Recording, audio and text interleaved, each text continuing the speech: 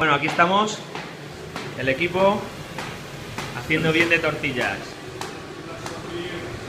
Aquí, ¿cómo va Roberto? Bien, bien, ahí, cortando patatas. Sin, mira, sin, mira, sin cortar los dedos. El pela, cortar los dedos.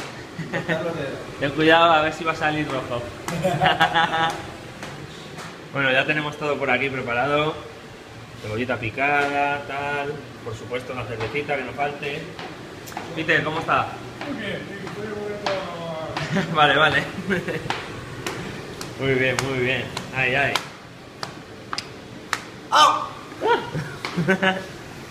Esto ya va cogiendo color.